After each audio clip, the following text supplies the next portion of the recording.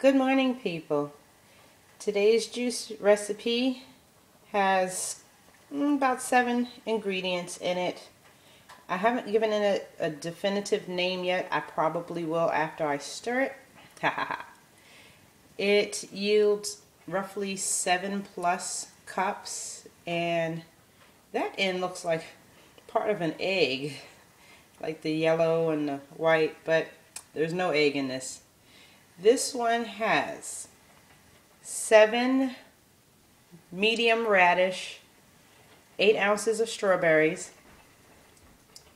four carrots four celery four pears three apples and one lemon.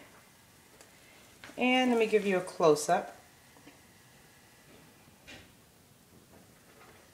Such beauty. Well, here goes the tasting. Hmm. I'm going to call this Radi-culous Red.